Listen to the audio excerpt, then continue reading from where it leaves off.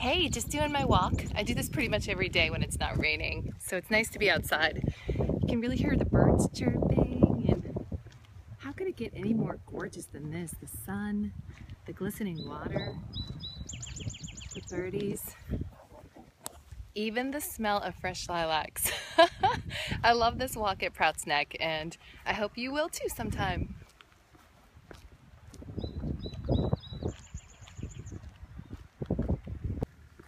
Still walking. I think the endorphins are finally starting to kick in now. Out of breath. I think maybe I'm out of shape. But this walk is just great. Look behind me. I mean, it's very private. No one's around, so if you have a bad day at work or maybe just want to get away from the kids or your significant other for a little while, just take this nice little stroll. It's about an hour. It's really good for you.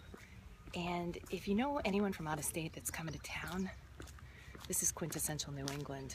I mean, this is the perfect spot to bring them. Makes you kind of proud to be from the state. Check this out.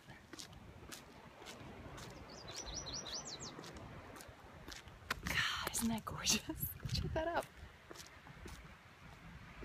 And this just so happens to be the start of the cliff walk, which you can walk